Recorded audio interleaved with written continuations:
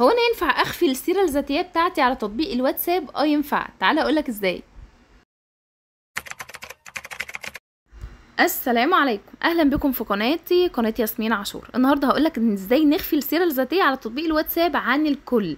يعني محدش يقدر يشوف السيرة الذاتية بتاعتي على الواتساب. تعالى أقولك إزاي. يلا بينا.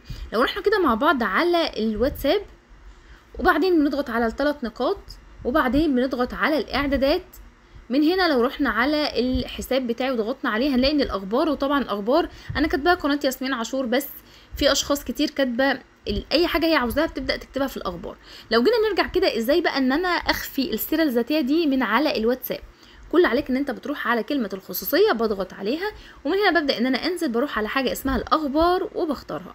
من هنا من يمكنه رؤية قسم الأخبار الخاص بي وهنا الكل وهنا جهات اتصالي وهنا جهات اتصالي باستثناء وهنا لا أحد. الكل دي يعني عامة يعني أي شخص يدخل يشوف السيرة الذاتية بتاعتك تحت رقم على طول.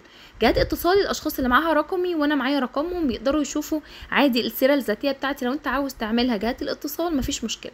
عاوز تفعلها جهات اتصالي باستثناء بتفعلها لكل جهات الاتصال ما عدا أشخاص أنت بتف... بتعملها ما يشوفوش السيرة الذاتية بتاعتك. هنا طبعا لا أحد ودي عن الجميع ما حدش يقدر إن هو يشوف السيرة الذاتية دي. يعني أنا عملتها لا أحد يعني هي اختفت خالص دلوقتي من الحساب بتاعي على الواتساب. وبس كده أي شخص هيدخل غريب عندي على الواتساب ما يقدرش يشوف الح... السيرة الذاتية بتاعتي أو الأخبار اللي موجودة عندي في الواتساب. دلوقتي أنا عاملاها لا أحد يعني ما فيش أي شخص يقدر إن هو يشوفها. بس كده يا ريت تعمل لايك الفيديو واشتراك في القناة. والسلام عليكم ورحمة الله وبركاته.